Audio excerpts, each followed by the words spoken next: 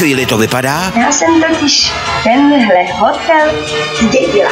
že chudou holku konečně potkalo štěstí. Ty jsi se zbláznil, No proč teď jsem vám říkal, že chci mít svatbu v hotelu Modrá hvězda? Hm. Ale jak se ukáže, Chcete být ředitelka?